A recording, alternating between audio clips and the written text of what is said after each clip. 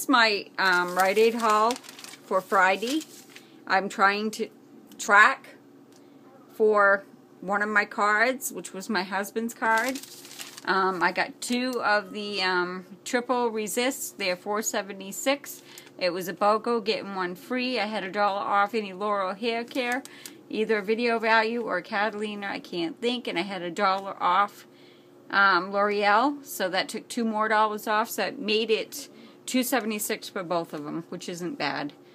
Um, the Almay, um, I, I, these were reduced to 75% off. They're originally $14.49. There was $3.62. I had a $3 coupon and made it 62 cents a piece. So that's not a bad deal. Um, these men's fit cares are $2.99 each.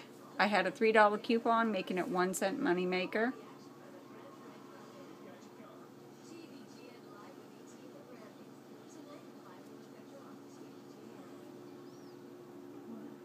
Just looking at my receipt. Um, also, I threw in the Tormessi because it's $4.99. Had a $1.50 coupon, making at $3.49.